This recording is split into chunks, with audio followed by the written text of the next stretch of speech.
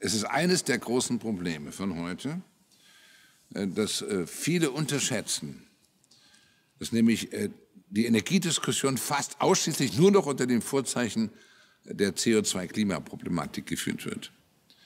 Als wäre das Weltenergiesystem intakt und zukunftsfähig, wenn es das CO2-Problem mit den Klimafolgen nicht gäbe. Aber davon kann doch gar keine Rede sein. Das CO2-Klimaproblem ist eklatant. Aber das Ressourcenproblem, die Erschöpfung der herkömmlichen Ressourcen ist auch eklatant.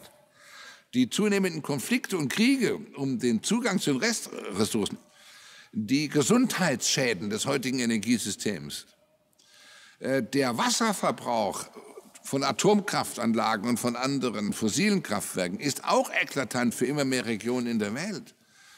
Das heißt, es ist doch nicht das einzige Problem.